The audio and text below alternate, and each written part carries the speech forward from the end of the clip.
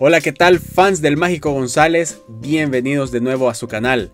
Mario les saluda en esta oportunidad y con una noticia que sé que a muchos les traerá una sonrisa en el rostro y que les empezará a generar ilusión y expectación de cara al próximo partido que jugará la selecta contra el Cádiz, este ya 30 de mayo en San Salvador.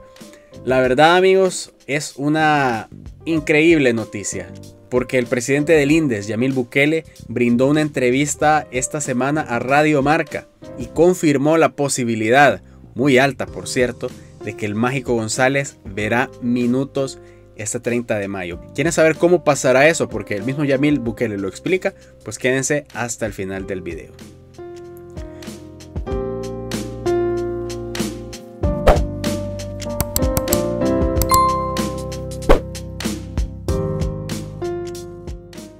Bueno, eh, Jorge sigue siendo Jorge.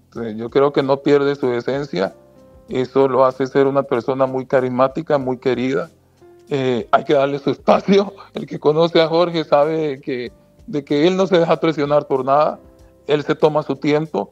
Sigue muy vigoroso, muy activo, muy, muy positivo, como positivez, como, como, como lo dice él en sus frases célebres. Eh, contento, emocionado y sobre si va a tener minutos de juego se está considerando, por lo menos es, positivo que él lo tiene considerado eh, en mente eh, y solo estamos definiendo el momento en que lo hará, si al inicio, a la mitad o al final, pero yo sí creería que, que Jorge sí saltará al terreno de juego.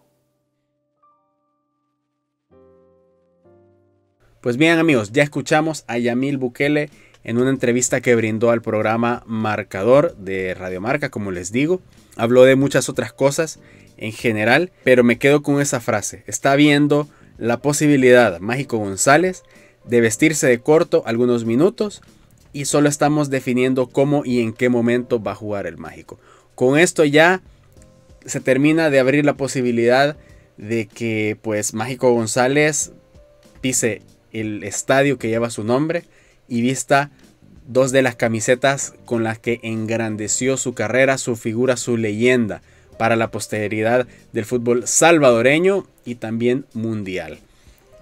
Aquí yo quiero que me digan, eh, ¿qué opinan? ¿Creen que Mágico debe jugar? Yo sé que esta pregunta ya se las he lanzado anteriormente, yo también ya he opinado al respecto, pero no está de más que ustedes me lo digan ahora. Yo les digo, o sea, la verdad estaba en el mágico que él tomara la decisión. Obviamente él se está preparando por lo visto.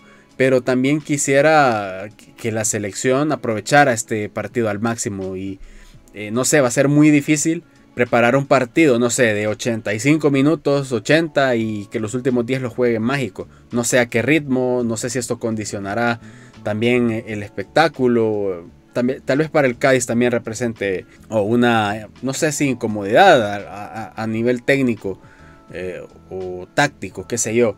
Les dejo abierta la posibilidad. La verdad es que, que el mágico juegue y que sea por decisión eh, del mismo Jorge, pues bienvenido sea. Al final es su homenaje, es su momento y hay que ayudarle a que se sienta arropado y que perciba el cariño de toda la gente.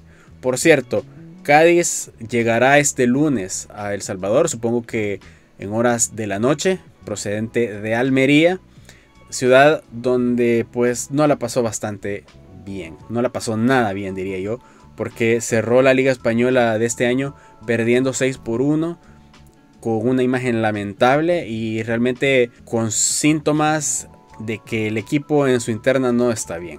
Por ahí se viralizaron unas frases de uno de sus jugadores, Alex Fernández, quien por cierto es hermano de Nacho Fernández, el futbolista del Real Madrid. Y también unas imágenes de unos futbolistas que pues estaban, se la estaban pasando demasiado bien cuando el equipo estaba sufriendo en la cancha. Entonces, por ahí el ambiente va a estar enrarecido en torno al Cádiz, pero yo quisiera que ellos se llevaran al menos la buena impresión de que se les puede tratar con cariño por ser un equipo de la primera división de España y que se les, guarda total respeto y total admiración. Porque yo creo que al final eso es lo que produce el Cádiz. Gracias al mágico, es el vínculo que nos une con el fútbol europeo, con la liga, que es un torneo que se sigue al dedillo en este país, El Salvador. Y nada, que sea un momento para hermanarnos y para celebrar a Mágico, y nada, disfrutar de una buena noche de fútbol. ¿Ustedes qué opinan? Cuéntenme. ¿Qué les parece eh, pues ya el amistoso? ¿Cuántos de ustedes van a asistir al partido? No olviden suscribirse al canal, dejar su like y compartir a sus amigos si les ha gustado el contenido. Nos encontramos en la próxima. Chao.